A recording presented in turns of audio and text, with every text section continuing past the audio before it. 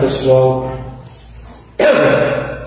boa tarde, bom dia a todas e todos. Estou aqui com o Rogério, que é professor economista, e dentro da nossa jornada nós vamos falar um pouco hoje sobre economia solidária, entre outros assuntos que envolvem esse, esse universo de, posso me estiver errado, me corrija, humanização da economia, né? não ser só o viés, o viés capitalista da economia. Então, já se apresenta um pouquinho aí, por favor, e de imediato já coloca o que, que é exatamente economia solidária. Ok, obrigado pelo convite. É, bom, eu sou professor de economia já há mais de 20 anos, né? atuo nesse, nesse mercado, né? tanto na economia mais capitalista, sou consultor da AGI, mas desde quando eu entrei na faculdade, né, eu venho atuando no movimento de economia solidária, economia mais popular, uma economia, como você falou, humanizada, né, baseada nos princípios da solidariedade, que é o que norteia a economia solidária. Então, repensa a relação do lucro né, em relação à produção.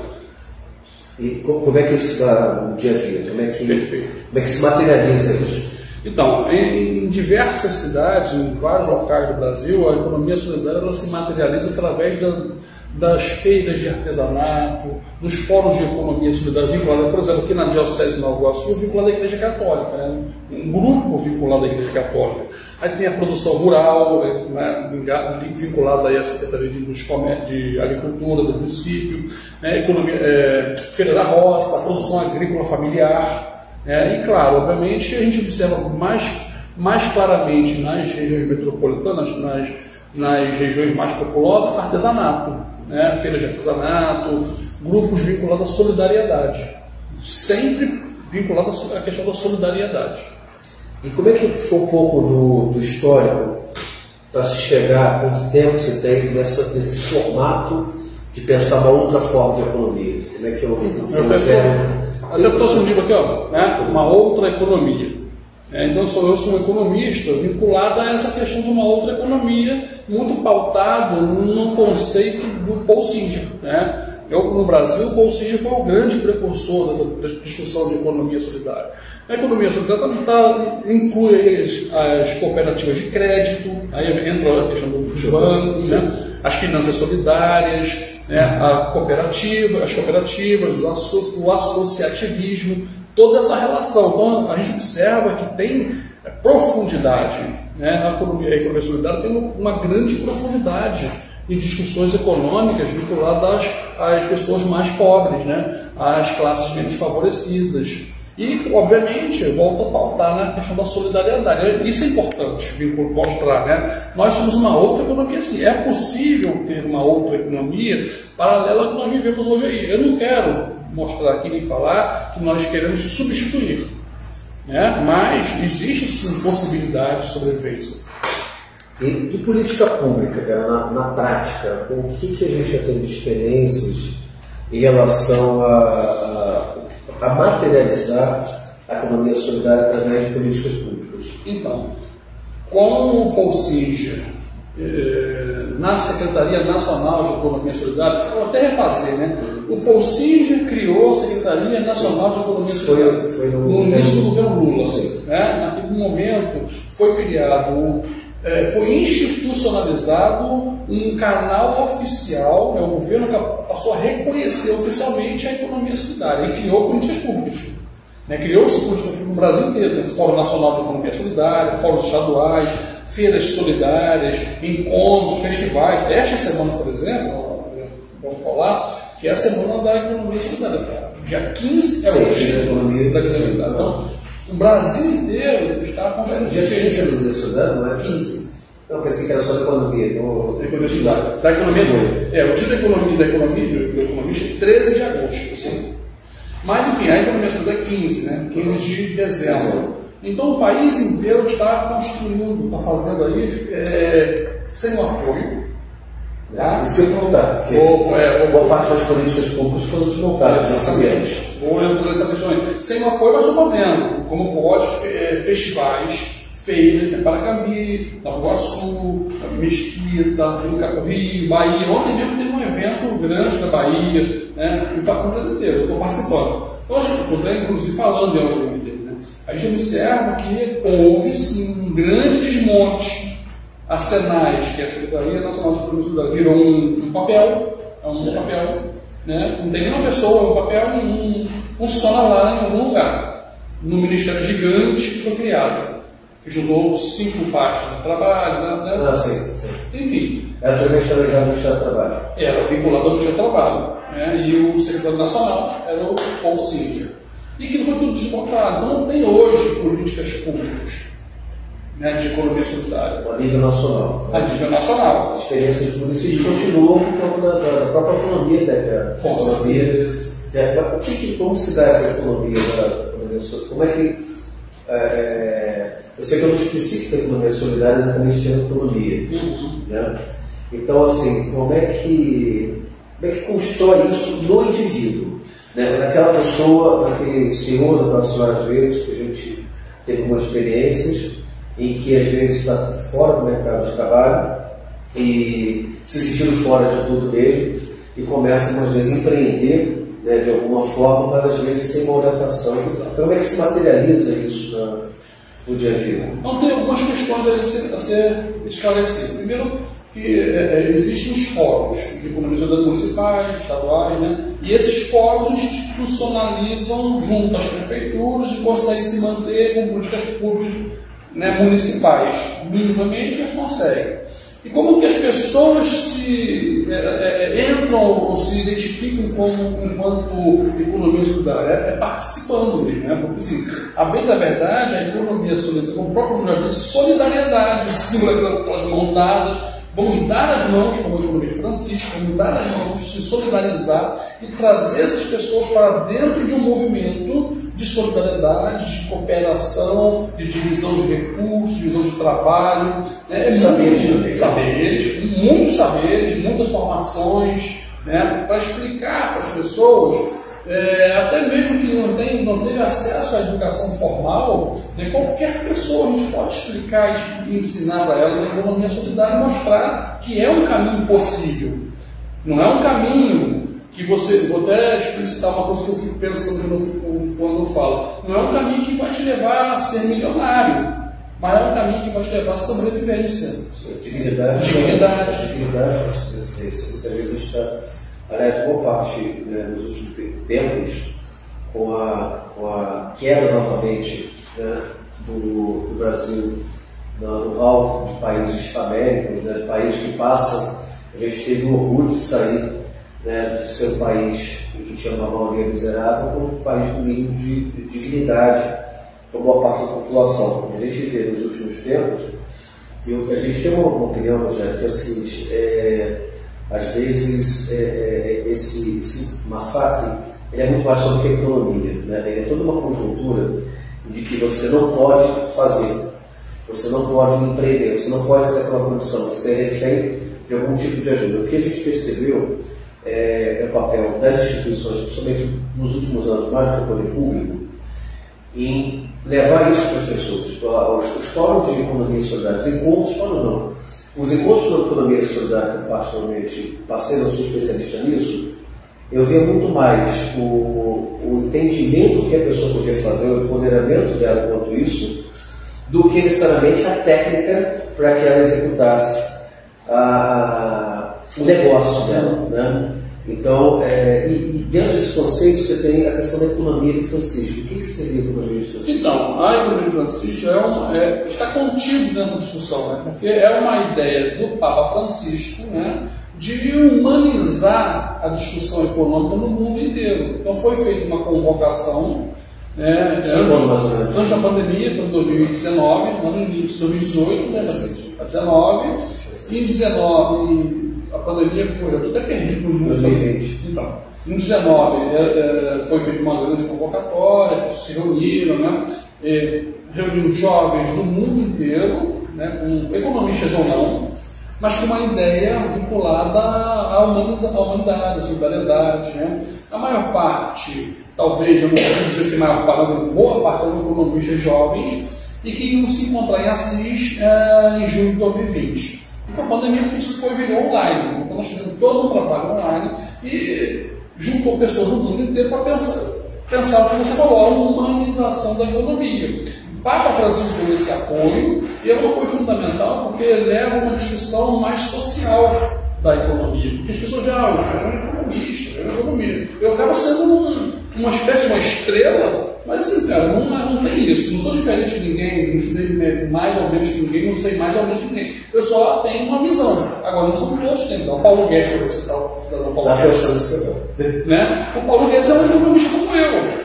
Só com uma visão completamente. Exatamente. É, mercadológico no sentido do lucro, que esse lucro nem, nem é embasado. Se cometer uma falha, corrija é, ele é um adepto do capital hotel, né? Aquele capital que entra, entra no país, sai, passa uma noite, sai no dia seguinte colhendo juros e sendo a população mais pobre, é, sem gerar um parafuso naquele país. Aí, mercado de mercado, é, né? gera, inclusive, uma confusão para os meus alunos, perguntando, professor, o senhor é um economista, aí eleva, o senhor é economista, né? Isso está aí é, andando de trem, andando de ônibus, o carro nem no carro novo, mora na Baixada. Ué, mas peraí, porque eu sou né? Eu não posso ser, morar na Baixada, não posso andar de trem? Cara, eu sou um economista como um médico, como um advogado, como um sociólogo, como um profissional, como qualquer outro. A minha visão é uma visão mais social, vinculada às classes menos favorecidas, às pessoas mais pobres, aos necessitados. E, é a minha origem essa. Né? É a minha origem. Eu vim daí, você me uns 30 anos, é a nossa origem essa. Eu estou vinculado a isso. Isso aí. A gente roda, roda, roda e. Mas a gente luta, né? A gente luta, a gente não resiste à luta. Então a Igreja de Francisco ela vem nesse aspecto. E é importante porque a igreja, né, força igreja no mundo, trazendo isso. E a gente tem se encontrado, tem feito muitas discussões, né? eu tenho participado com o pessoal lá de Diocese de Maringá, que é um importante processo no Brasil, né, que tem essa discussão com profundidade. Aqui em Nova Iguaçu não foi possível avançar nessa discussão, mas vai, vai, vai avançar ainda, a gente vai conseguir. Né? A pandemia nos afastou um pouco, não pude, eu pessoalmente não pude conversar com as pessoas aqui dentro da diocese, mas vai avançar. Tem padres aqui importantes, tem ideias legais, o bispo tem uma ideia interessante, vocês dá para trabalhar isso com o Gilson. É, então, então, inclusive, eu, eu, eu acredito, já, nesse processo de retomada, por mais que a gente já está flexibilizado praticamente tudo, é, a gente não retomou, eu acho, como porque ainda tem os nervos, ainda tem uma série de, de questões envolvidas. Eu acho que a gente tem um desafio para 2022 até desse processo de reconstrução do Brasil, esse processo de retomada das políticas públicas, na semana passada a gente teve o Edson Santos aqui, que foi ministro da, Igualdade Social, e estava falando sobre as políticas que eram implementadas no, no, no Ministério, que simplesmente são extintas, aliás, foram extintas e criminalizadas até. Você vê pelo que está na, na Fundação Palmares, né? porque se extinguiu o Ministério e, e você tem uma, uma, uma, instituição pública que era para fomentar o enfrentamento ao racismo e é racista, tem posturas totalmente racistas. Eu acho que a, a processo de reconstrução, e aí, é, esse espaço aqui é um espaço que a gente já está acolhendo várias iniciativas da Igreja Católica, muita Igreja Católica não tem conhecido espaço, mas por ser uma, uma instituição negra, né, uma instituição que é, que é transversal, na verdade, tenta ser transversal, a gente já está acolhendo aqui, por exemplo, a pessoa pastoral da juventude, pastoral da diversidade, eu acho que também a gente podia estar utilizando aqui o espaço físico, como também os meios de comunicação que a gente tem, que é, é necessário, é, eu tenho batido muito nessa técnica, agora mesmo está estudando um podcast que fiz do Paracabi, tem muita coisa boa acontecendo, mas ainda falta a visibilidade dessas coisas boas, entendeu? Eu, eu, eu quero só falar do, do, dos bancos comunitários. Sim, sim. Porque uma vertente né, é, está contida na economia solidária. É um, é uma, um objetivo importante. A gente tem feito isso no Brasil inteiro, tem 180 bancos, a minha dissertação do mestrado foi sobre o banco comunitário. Então, assim, o banco comunitário é uma instituição financeira popular. Aí as pessoas perguntam, que banco, banco é esse? Banco comunitário? Eu, né, eu posso ter conta? Tem cartão? Pode, pode ter conta, pode ter cartão. Aqui no Iguaçu não tem banco comunitário, mas eu tenho uma conta no banco comunitário, eu faço parte do banco. Funciona. Isso. Eu sou dirigente de um banco comunitário lá na FRJ, que é o Banco Fundinho, que é o nosso experimento, é, no fundão, né, no fundão, é. é o nosso experimento né, prático para que a gente possa disseminar isso para por aí fora. Vamos lá, na sua pergunta. Antes da sua pergunta, eu vou dizer que no Rio de Janeiro existe um banco comunitário muito grande. É o Banco Comunitário Mumbuca, em Maricá. É o maior do Brasil. É muito forte. Né? Vou chegar no Mumbuca. Como funciona né? o Banco Comunitário é um banco popular, né? É, de uma visão associativa, comunitária, é um grupo de pessoas da economia solidária, artesão se une lá vamos discutir aqui como um banco comunitário, junta dinheiro, fundos solidários, né? junta recursos, faz rifa, guarda um pouco de dinheiro lá para eles, para alugar barraca, para pagar passagem, isso junta um fundo solidário. E a partir daí você pode criar uma moeda social. Né? A moeda social é vai circular entre eles e entre os comércios locais. Pode, é, pode não deve chamar o comércio local, deve chamar a comunidade, a igreja, toda, toda a sociedade. Sentar e conversar, fazer aquelas reuniões de formação, conhecer, mostrar o conceito, e você cria uma comunidade. É fácil? Não, não é fácil. Porque administrativamente é que funciona? Então, aí administrativamente, né, é, são os próprios artesãos, são as próprias pessoas, né, o próprio grupo social. Não vamos contar com um economista, um chador, não, não, são as próprias pessoas, no caderno, contando, escrevendo, anotando lá as suas, as suas economias, né, aquela contabilidade normal que todo mundo sabe fazer. Então, vira um, um trabalho social fantástico. É muito importante. É pequeno em muitos lugares, mas muitos lugares. Mas é gigante na prefeitura de Maricá, por conta da peculiaridade importante que foi a prefeitura que começou o banco, diferente de outros lugares. Né? Isso não é crítica, pelo contrário, é ótimo, porque a prefeitura tem força, poder, dinheiro, recursos, né? começou o banco, botou recursos dos royalties do petróleo lá e o negócio cresceu, paga, paga programas sociais do banco, o banco movimenta um milhão de reais, um milhão e meio de reais, né? ano. Isso é importante. Durante a pandemia circulou a moeda mumbuca na cidade, né? todos, quase todos os negócios lá sempre moeda mumbuca. Então a moeda mumbuca circula na cidade, vai e volta dentro da cidade. Então isso é importante. Mas hoje o mumbuca não pertence à prefeitura. Porque houve, claro, uma dissociação da prefeitura. Olha, vamos chamar o grupo de economia solidária da cidade, reunir, discutir, debater, e hoje o banco pertence à sociedade civil o que é ideal, o que é fantástico, o banco continua lá. E tem dinheiro, Rodrigo, comprar um prédio, um, um, imóvel próprio, um recurso do próprio banco. Isso é fantástico. Ah, mas o banco aqui de Nova Iguaçu não é igual ao mundo. Tudo bem, não tem problema. Mas é um banco. A gente tem que se contentar com a nossa realidade. Em função disso, né? Existem outros bancos no Rio de Janeiro também que lidam com a prefeitura. O Banco Hora de Boia, Niterói. É, Foi ontem o lançamento, inclusive. Né? O Banco Ita, o banco Itajuru, lá em Cabo Frio, que eu fui na, na, na inauguração. Aí tem instituição em Musos, Tanguai, Itaboraí. Todos eles, aí eu vou falar que. Aqui na Baixada tem não? Não, ainda não. Ainda não, mas vai ter. Você vai, brevemente você vai saber de notícias. Todos eles estão ancorados no Banco Palmas.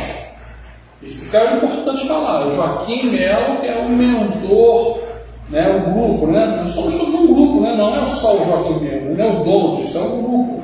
Mas o Joaquim Melo tem, através do Instituto Banco Palmas, levado essa tecnologia social para os municípios. Isso dissemina o banco, os bancos comunitários digitais, que são os bancos populares criados por prefeituras, e provavelmente no futuro isso vai também popular.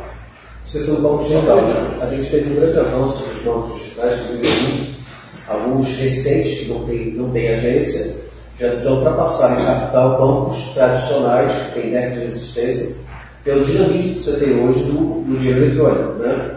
da velocidade do dinheiro eletrônico. Então hoje você pode se adaptar quer conhecer isso, ele era um papelzinho escrocado, lembra disso? É. Era um papelzinho escrocado, na, nos casos de empréstimos de microcrédito, que faço de microcrédito, era literalmente aquele papel xerocado, cortadinho, e as pessoas iam cumprindo aquele carnê grampeado. É. É, só que hoje tem essa tecnologia digital. Duas coisas. Uma, é, o que é especificamente microcrédito, como é que ele funciona, e se existe a possibilidade de, fomento de um, de um banco, por exemplo, acho da, qual caminho que com um banco na Baixada, por exemplo. É, no, início dos anos 90, eu participei de umas discussões né, com o Banco Popular do Rio de Janeiro, né, e aí acabou me levando a conhecer experiências no exterior, que me deixou muito. Assim, que me levou, inclusive, à discussão que estamos fazendo hoje. Eu conheci um banco lá na Bolívia, Santa Cruz do Sierra, que é o Banco Sol. Tem a ver com o Banco do Rio, dos lá da, da... Não, não, mas é parecido. Né? Bangladesh. Isso, Bangladesh. O, o Banco Sol, né, o uh, falecido na Bolívia, falecido uh, Pancho Hotel, né, o Francisco Hotel. O Pancho Hotel, eu trouxe o Pancho Hotel para o Iguaçu. Eu trouxe ele aqui no Iguaçu para conhecer a realidade, para eles montar aqui na cidade uma proposta de banco de, banco de microcrédito com o prefeito Luiz Berg Farias. Ele veio aqui, está publicando jornais, ele veio. Mas enfim, então é, é uma experiência fantástica, cara. Porque se você consegue oferecer créditos mais baratos, esse é o microcrédito, crédito mais barato para subsidiar a produção. Né? Pequena produção vinculada às populações menos favorecidas. Não é para você enriquecer quem já tem dinheiro, é quem é pobre. Aí você cria laços solidários, né? você cria ações de modo que as pessoas possam ter vínculos né? com umas com as outras. Né? E você cria condições de emprestar dinheiro para aquelas pessoas, para aqueles grupos que se desenvolverem. Esse é o conceito do microcrédito, para isso que serve.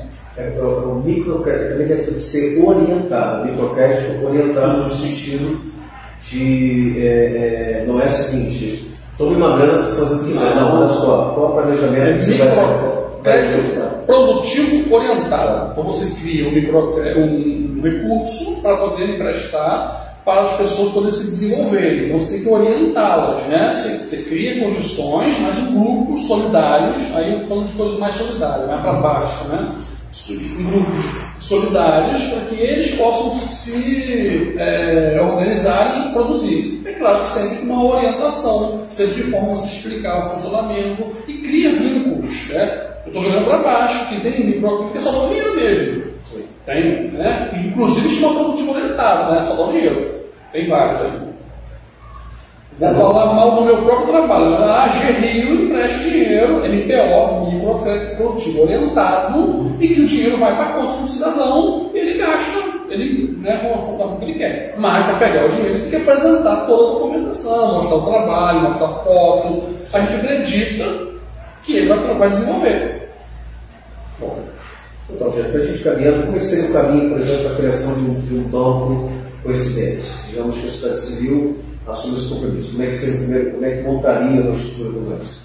Então, é, primeiro, se a gente vai trabalhar o Banco Popular, é fácil juntar as pessoas, o Fórum de Economia nós já estamos em discussão, os fóruns, né? Na, no de montar um Banco Popular, um Banco Comunitário de Desenvolvimento, que é diferente do microcrédito. E é com Economia Solidária, que a gente está discutindo.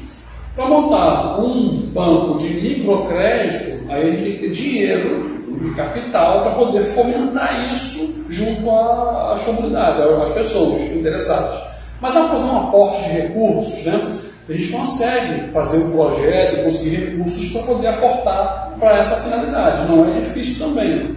Também a gente consegue empresários né, vinculados à economia da, da comunhão, que tem uma visão mais solidária, que possa também né, é, aportar recursos obter lucros menores. Que é o, a grande, o grande X da questão que nós não falamos são os juros. Sim. Né, nós não falamos dos juros. Qual é a média de juros em bancos, é, cheque especial, cartão de crédito e empréstimo? Fala aí. Cara, ano ou mês? 8, 10, 7, 9%. Né? Dessa mês. Mês. Essa é a faixa. Depende. Depende, claro. Os cartões de crédito cobram até 14% dos vezes. Cartão de crédito é, um, é uma, não é banco, é instituição financeira. Então cobra 15, 18, 400% ao ano. Quem regulamenta os cartões? Oi? Quem regulamenta Banco Central do Brasil. Banco Central e, e, e regulamenta, não, dá condições de funcionar. Sim. Mas como ele não é banco, é uma instituição financeira de crédito, o Banco Central não. Não tem, não tem é, é, gerência do seu termo. Não, não consegue interferir, Não, né? não consegue é, regulamentar, é, regularizar, É, né? regulamentar mesmo um parâmetro de, de taxa de juros. de taxa de juros. Porque assim, dos bancos sim, ai, 8%, 7%, às vezes é 14%, mas em geral você encontra os bancos aí 8%, 7%. E na, e na economia solidária, como seria? Um, 1% mesmo. um, às vezes menos, às vezes nada. Em Banco Popular, Solidário, Banco de Desenvolvimento, Banco Comum de Desenvolvimento, nada. Não tem juros. Em muitos casos é sem juros, inclusive um pouco. E outros casos 1%. Não, não tendo esse, esse, não esse lucro, como é que se mantém? Esse recurso? Como é que você adapta esse dinheiro, atualiza esse dinheiro de utilização? Não tem lucro, né? A gente não fala de lucro né, nesse. É, eu falei, eu falei lucro. Não, é. Eu falei também exatamente de como é que se adapta a atualizar o dinheiro na Você utilização. A gente tá- Não é lucro, assim, né? A gente pensa, poxa, mas como é que você vai para manutenção desse dinheiro? Você falou, a gente pensa nisso. Né? Mas o tem que ir e voltar, é o dinheiro para produzir. Então tem que se estabelecer, é possível, é preciso estabelecer um recurso uma taxa de retenção para poder se manter, obviamente. Mas tem propostas, funciona se você também prestar sem valores menores, sem juros. Fundo Solidário, por exemplo, eu tenho trabalhado aqui no município da cidade, em um município da Baixada, eles tinham recursos, o recurso está indo e voltando sem juros nenhum, mas eles juntaram ao longo do tempo uma quantidade de dinheiro. Então está indo e voltando sem juros nenhum. Então já está lá. Tem, tem 10 mil, por não tem 10 mil. Tem 10 mil, ele fica rodando 10 mil ali, perde dinheiro, economicamente perde dinheiro, né? Mas você está dizendo está trabalhando recursos indo e voltando. Mas é bom estabelecer um valor para manutenção do recurso, obviamente. Em solidariedade, ninguém está ganhando absolutamente nada para o trabalho, é voluntarismo. Né? Mas é, é 1% é um valor legal. O Banco ainda cobra por transação. Né? Eu tenho aqui o banco, o É Dinheiro, que é a plataforma que gerencia todo o Banco do Brasil, né? boa parte do Banco do Brasil, e ele cobra por transação, paga uma conta de luz, paga uma conta de um cartão de crédito, uma plataforma. E aí retém 2%, que é um para o banco comunitário que gerencia e um para a plataforma nacional. Rogério, encerrando, passa o teu contato de rede social, se você ficar à vontade aí, se quiser te achar. Bom, eu, antes de mais nada, quero agradecer profundamente essa discussão, que é boa. Acho que a gente podia marcar em algum momento aqui nesse auditório legal, quando puder, com o público, com os jovens, com a parte com a PJ. Pô, sensacional, né? A gente, como você falou, muito ainda para o ano que vem, cara. Exatamente. No sentido que, que nada à toa, né? A gente tem essa turbulência enorme que a gente passou em 2020, 2021. E, e também esse governo horroroso que a gente tem, né? nem são as pessoas, é todos os conceitos que, que envolvem. E está juntando todo mundo de volta. Está juntando todo mundo. Tem gente que se falava, tem, tem, tem, tem um camarada que eu, que eu é, tava em com ele e falei, cara, a gente está aqui 30 e poucos anos falando a mesma coisa, né? É, mas eu vou ter arrumar nada disso. Então, Então, exatamente. Trazendo pessoas. Eu mesmo, eu estou hoje novamente militando o que não estava fazendo. Estou militando, voltando. É, falar assim, por exemplo, as pessoas não me conhecem. Estou 30 anos falando disso, mas eu não apareço em lugar nenhum. É, são poucos locais que eu estou falando em microfone ou em live, poucos. Né? A Rural me convidou e eu estou eu nem fui porque eu não, não gosto, eu tenho vergonha. Mas hoje eu não quero, mas hoje é necessário. É necessário. Hoje é necessário, porque a gente está falando repetindo muito isso. É importante. Porque o mundo é muito idoso, cara. A gente só está tendo pauta negativa. Então, a gente precisa, e já existe. Claro. Nada é novo, nada está sendo inventado agora. Então, a gente já está realmente que a gente A tem. gente vai montar aqui, cara, juntar pessoas e discutir isso, debater. E quem sabe montar um- uma estrutura financeira de banco popular aqui dentro, né? Com os direitos humanos, é sensacional. Mas enfim, todo mundo que quiser me achar, tá no meu Instagram, prof. Rogério Rocha. Tá lá, eu só tenho Instagram. Na verdade também tem o Facebook, mas eu não, não entro, uso, só tenho Instagram. Prof. Rogério Rocha, lá tem meu telefone, lá tem meu e-mail, lá tem informações de evento. Tá bom. Estou muito feliz. Obrigado, tudo bem. Bem. Muito. Eu que agradeço, cara. Essa ideia. Tá, muito obrigado por estar encerrando. E esse, esse conteúdo também a gente vai estar dividindo em pequenos trechos no decorrer dos próximos meses para estar também é, espalhando para nossas redes sociais. Tá bom?